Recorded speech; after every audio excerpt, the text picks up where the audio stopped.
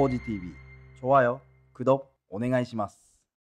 안녕하십니까 거미 여러분들 거지TV의 거지셰프입니다. 오늘도 잘 부탁드립니다. 자 오늘은 제주도 이후에 바로 여기를 찾아왔었습니다. 찌동 스시 소라 여기 같은 경우에는 이제 얼마 전에 임준호 실장님 부산 출신했던 친구가 그만두고요. 그 후에 실장 되는 사람이 있는데요. 그 친구가 얼마나 잘 할지 아니면 못할지 그거를 좀 봐야 돼서 왔었습니다. 아무래도 요리라는 것은 레시피는 똑같다고 하더라도 자세한 것 때문에 맛은 달라져요. 그래서 과연 어떤 결과가 나올지 들어가 보겠습니다. 자 제주도 다녀온 후에 했으니까 좀 오르긋한 것 같기도 하고 자, 이분이 바로 박우경 셰프입니다. 제가 알기에는 91년생이라서 31살인가요? 근데 이 친구 같은 경우에는 일본에서 스시 요리 학교도 다녀온 친구라서 과연 오늘은 어떤 결과가 나올지 한번 보겠습니다. 자, 이제 계란찜인데요. 어? 아무것도 안 들어왔네요. 이거 뭐지? 라고 생각했는데 설명 들었더니 브리치즈라는 게 이제 안에 들어가 있고요 아무래도 이제 젊은 분들이 치즈를 좋아하니까 나 했으면 이런 조합을 안 했을 텐데 아참 처음 시도를 하셨다 그 생각이 들으면서 먹었었습니다 바로 스시인데요 셰프님 스시 하는 모션 한번 보겠습니다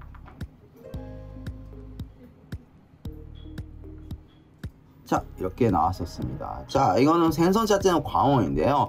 딱 봤을 때는 여기 좀 초밥 모양새는 그렇게 아주 예뻤다 그렇지는 않았는데 일단 먹어보겠습니다.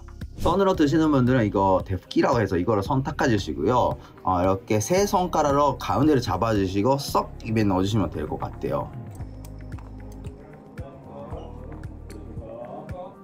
두 번째 스시는 이제 너미 뱃살입니다. 이거 같은 경우에도 그냥 사진만 봤을 때는 여기에 약간 좀 그 기자기자라고 하나요? 맨 처음에 밥을 가져올 때 동그랗게 잘 가져오지는 않았을 것 같다. 약간 좀 모양새만 봤을 때는 그런 건데 한번 보겠습니다. 그리고 젓가락질을 제가 이제 이거는 많은 영상에서 말했던 건데요. 이렇게 대각선으로 들어갈 경우가 있어요. 근데 이거 뭐 뷔페 초밥이나 오래전에 만들었던 초밥집에서는 그렇게 하셔도 밥이 떨어질 경우는 거의 없는데 보통 오마카세 집에서 이런 식으로 젓가락질을 하면 거의 떨어질 확률이 확 올라간다고 생각하세요 그리고 더 많은 거 이렇게 가운데를 이렇게 잡으시는 분들이. 그러니까 초밥 자체를 바로 이쪽이 바로 옆에서 봤을 때는 이렇게 동그랗게 됐을 거 아닙니까? 동그랗게 됐을 건데 이 가운데 부분 잡았다고 하면 이것도 떨어질 확률이 많다는 것은 아실 텐데 생각보다 이렇게 잡으시는 분도 많아요 그래서 결과적으로는 이렇게 제일 밑에 부분을 이렇게 잡아주실 때 제일 안정합니다. 아니면 손으로 드셔도 된다고 생각해요. 네, 이날은 제가 먹었던 밥은 어느 정도 간이 돼 있는데 옛날에 6개월, 7개월 전에 그때는 한참 제치던 스시소라 밥이 좀 짜다는 말이 나왔었었는데 이날을 먹으면서 뭐 그런 느낌에는 저한테는 없었어요. 그래서 한번 여쭤봤어요. 혹시 최근에도 짜다고 말씀하시는 분이 계세요? 했더니 가끔 가다가 계시는 데 그렇게 많지는 않다. 그런 식으로 대답을 했던 것 같아요. 자 다음에는 이거는 홍새우. 홍새우 같은 경우에는 특히 제 와이프가 좋아해요. 껍데기 부분만 살짝 구워서 주셨었는데 이것도 여자분들이 밴들이 많은 것 같아요. 이 가게에서는 좀 초반에 미소를 딱 꺼내주시네요. 50대나 60대 이상 분들은 거의 초반에 장국을 좀 원하는 경우가 좀 많으신 것 같아요 자 셰프님께서 저한테 주실 줄 알았는데 옆자리에 가버리네요. 이렇게 조금 그 밀담도 잘 하시고. 자 이거는 질문이 정갱이 줄정갱이라고도 하고. 일단은 모양새가 제가 완전 100% 마음에 드는 모양새는 좀 아니더라고요.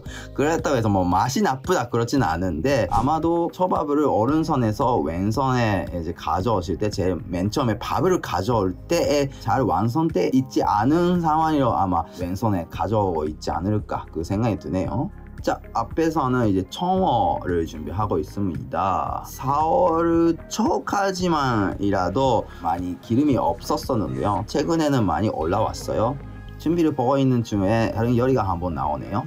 벽어버섯에 안에 이제 새우를 갈아서 들어가는 뭐 보통 하사미하게라든지 그런 요리인데요. 거기에 갓소다시 육수 낸 다음에 그걸 안 소스 집전분이나 감자전분 들어가는 그런 소스 만든 다음에 그런 요리했습니다. 뭐 중간에 이런 요리가 나오는 것도 좋죠. 그냥 수시만 계속 먹기에는 저도 좀 재미없을 때가 있으니까 이런 튀김 요리나 하나 나오면 고맙죠.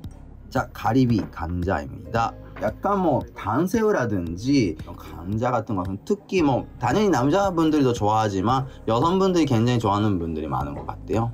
자, 참치 주토로입니다. 보통 한국에서는 중뱃살이라고 하는데 사실은 주토로는 아카미 같은 경우에는 뱃살에도 등살에도 있어요. 다만 오토로는 배뱃살 부분밖에 없어요. 근데 참치 등살에 있는 중뱃살이라고 하면 단어가 이상해지잖아요. 그래서 참치 등살에 있는 중간 정도 주토로. 근데 이날은 이제 뱃살 쪽에 있는 주토로에 쓸 겁니다. 자, 바로 다음에 나왔던 것은 아카미라고 해서 빨간 부위인데요. 아까가 일본어로 빨간색, 미는 쌀이에요. 그래서 말 그대로 빨간 부위를 이제 그냥 일본어로 아카미라고 합니다. 어, 아카미도 이날은 좀 유난히 맛있었던 것 같아요. 자, 이거는 정갱이라고 합니다. 어떤 이제 방어나 민어 같은 경우에는 이제 큰 생선스러 좀 맛있다고 여러분들이 생각할 수도 있는데 あじ는 적당한 사이즈가 있, 더라고요 제가 제일 원하는 사이즈는 한 마리에서 two piece 나온 거나 한 마리에서 네 piece 정도 나오는 사이즈가 전갱이 중에서도 まあじ라고 해서 그게 맛있는 것 같은데 전에 실장이 이제 김준호 실장 같은 경우에는 이제 등푸른 생선을 しめ하는 과정을 계속 연구를 해가지고 이 가게의 しめ 수준은 굉장히 높다고 저는 생각해요. 근데 바로 밑에 있었던 그 하우경 셰프답게 그런 일들을 잘 배우고 있는 것 같아요. 그래서 보기 좋았어요. 자 이거는 삼찌입니다 저도 식사하면서도 좀 더 초밥의 모양새 좀 신경 썼으면 좋겠다 그렇게 말을 해놓더니 점점 점점 이제 지금 모양새가 좋아지고 있는 거 좀 보이시나요? 자 이제 지라시 스시입니다. 여기에 안키모 아그간도 들어갔고요. 뭐 게살도 들어가고 참치 나카오치 이렇게 비벼서 보통 먹죠. 자 여기서도 한번 김 자랑을 하겠습니다.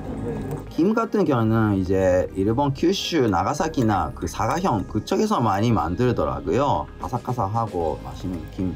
에, 맛있죠 자 앞에서 셰프님께서 이제 모스시 고등어 본조밥을 만들어 계십니다. 이날은 거의 4월 셋째 주 정도 했던 것 같은데 이 시기에는 사실은 고등어가 기름이 많이 빠졌어요. 많이 빠졌기 때문에 운이 좋으면 이제 좋은 고등어 먹으러 하는 게 있을 때도 있고 그렇지 않으면 기본적으로는 스시코지에서는 지금 고등어는 안 쓰고 있고요. 그런 상황입니다 자 앞에서는 고등어를 준비하고 있었지만 이거는 청어입니다. 청어 위에는 이제 초록색 거는 이제 생강하고 실파를 다져서 만든 페이스트인데 이날에도 아이 정도 청어라면 아 이제는 먹을만 하네요 라고 생각했던 것 같아요 자 앞에서 고생하면서 셰프님께서 고등어 본초밥을 만들어 주셨습니다. 이날은 제 옆에 두 팀이나 손님들이 계셨던 것 같은데 셰프님께서는 이제 입담도 좋으시고 좋은 분위기로 식사했었던 것 같아요. 위에로 좀 괜찮은 고등어네요 그 생각이 들었었어요. 근데 어쨌든 저희는 거래처는 거의 동리일태 있으니까 저도 이제 식사한 다음에 이제 거래처 사장님한테 바로 전화했어요. 이번에 대전에 들어갔던 고등어 너무 좋았네요. 다음에 괜찮은 거 있으면 다시 스시코지도 보내주세요. 했는데 그때 받았던 고등어는 이만한 고등어는 아니었던 것 같아요. 그래서 참 날씨라든지 시기라는 것은 굉장히 좀 어려운 것 같습니다. 어제도 어떤 사람이 저한테 아 혹시 셰프님 거등어 없으세요? 라고 말씀을 하시니까 기본적으로 초밥집이라는 게 계절감을 최대한 살리면서 이제 코스 구성을 하는 게 약간 일본 사람의 입장에서는 그런 이르시기 흐리고 있는 그런 계절감이라는 거를 좀 중요시 하려고 한 것 같대요 아 그래서 봄 여름에 거등어를 찾으시는 것은 어떻게 보면 겨울에 벚꽃이 왜 안 피어요? 라고 하는 거랑 좀 비슷하게 들으기도 합니다 자 김밥도 잘 말아주셨던 것 같아요. 김밥 같은 경우에는 저희가 최대한 좀 밥을 줄여서 이렇게 만들어요. 그래서 이것만 먹었을 때는 물론 뭐 이제 계란에 단맛도 혈단도 들어가니까 아주 뭐 다이어트에 괜찮다고 하기에는 그렇지만 그나마 이거를 두 개 정도 먹고 이제 식사를 끝내신다고 하면 참 다이어트에는 좋은 음식이 아닐까 그 생각이 드네요. 탄수화물 거의 없으니까 자 식사는 면 식사 이렇게 나왔었습니다. 참고로 지금 스시소라에서는 점심에 이부시로 진행하고 있는데요. 서초에 있는 스시소라 빼고는 지금 점심에는 5만원으로 진행하고 있습니다. 그래서 오늘은 이 내용은 5만원의 오마카세의 내용이었습니다. 자 앞다이에서는 이제 이제 계란도 이렇게 지금 첫 번째 거 자를 때 이거 움직이는 거 좀 보셨어요? 이것만 봐도 아 오늘은 계란이 성공적으로 마무리 잘 됐구나 라고 볼 수 있는 결과였던 것 같아요 자 마지막에는 매실 샤베시로 마무리 했었던 것 같아요. 이것도 아주 깔끔하고 상큼하고 이 계절에 딱 맞는 그런 샤베시를 좀 준비해 주셨더라고요. 네, 좋았던 것 같습니다. 자 이렇게 이날은 맛있게 먹고 왔습니다. 아무래도 음식이라는 건 그냥 눈을 감고 그냥 먹는 거 아니잖아요. 그래서 음식이라는 게 비주얼도 맛이랑 똑같이 중요한 거다. 그리고 조리복에 뭔가 간단 떨어지고 있거나 그런 비주얼 같은 것도 예, 굉장히 중요한 요소 중에 하나다라는 거를 다시 한번 예, 생각해야 됐던 그런 자리였던 것 같아요. 맛은 뭐 사실은 제가 이날은 조금 놀랐던 게 대치동 스시소라 같은 경우에는 이 전에는 김진호 실장님 앞에서 이 영상 찍는 거의 한 달 전에 한번 먹고 왔었어요. 그래서 셰프한테는 미안한 이야기지만 맛은 사실은 거의 어떻게 보면 유경 셰프 앞에서 먹었던 게 더 맛있게 느꼈던 것 같기도 해요. 근데 뭐 초밥집도 좀 어려운 게 그날은 약간 왔다 갔다 변자가 조금씩 있는 것도 사실인데 이날은 먹었던 초밥은 전체적으로 좀 만족 스러웠고 조그마한 디테일에만 조금 더 신경 써주시면 더욱더 좋은 열사가 되지 않을까 좋은 가게가 되지 않을까 그 생각이 드네요. 뭐 하여튼 앞으로 하우경 셰프님이 대치동 스시소라에서 새롭게 실장으로서 일을 시작했기 때문에 많은 응원을 해주셨으면 좋겠고요. 저는 이렇게 생각합니다. 자리가 사람을 키운다. 그렇기 때문에 응원해 주셨으면 좋겠고요. 그리고 맛이 없 없거나 안 됐으면 그냥 그거를 조직하게 셰프한테 말씀을 부탁드리겠습니다. 하여튼 오늘도 끝까지 영상 시청해 주셔서 감사합니다. 다음번에도 또 좋은 영상으로 뵙겠습니다. 감사합니다. 바이바이.